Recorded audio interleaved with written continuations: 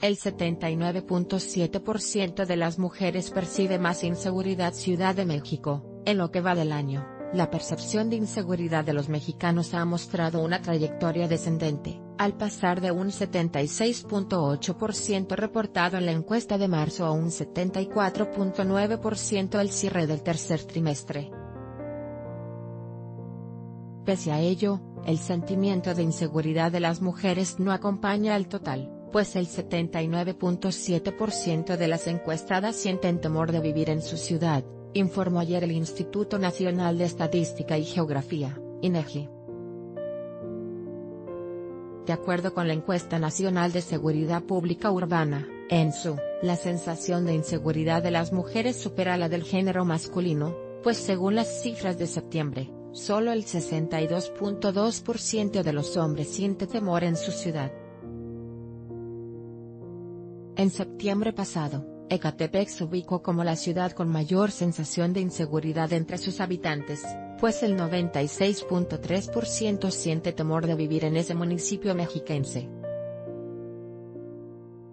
Le siguieron en la lista Villahermosa, 94.5%, Reynosa, 94.3%, Cancún, 92.8%, Fresnillo, 90.8%, y Tapachula, 90.4%. En el lado opuesto, la ENSU de septiembre reveló que las ciudades con menor percepción de inseguridad fueron San Pedro Garza García, 21.6%, San Nicolás de los Garza, 34.2%, Mérida, 38.1%, Saltillo, 39.1%, Durango, 40%, y Puerto Vallarta, 41.4%.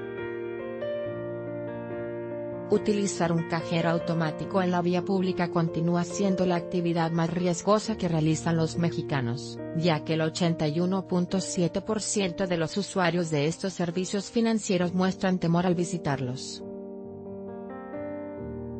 El top 5 de los lugares donde los mexicanos se sienten más inseguros lo completa el transporte público, 75.1%, el banco, 69.9%, las calles que habitualmente se usan, 67.8%, y el mercado, 61.4%. Una vez finalizado el periodo electoral, la ENSU de septiembre reveló que el 58.3% de los mexicanos consideran que los niveles de inseguridad seguirán igual de malo que incluso, empeorarán, lo que ubicó a dichas expectativas en su menor nivel de pesimismo desde 2013, fecha en la que INEGI comenzó a levantar esta encuesta. Los mexicanos también reflejaron su opinión sobre las autoridades que se relacionan con la seguridad pública. En la encuesta de septiembre, el 85.8% de los encuestados consideran a la Marina como muy o algo efectivos, seguido de un 82.4% que registró el Ejército. Después le siguen la Gendarmería Nacional, 69.2%, la Policía Federal, 64.4%, la Policía Estatal, 48.6%, y finalmente, la Policía Preventiva Municipal, 38.6%.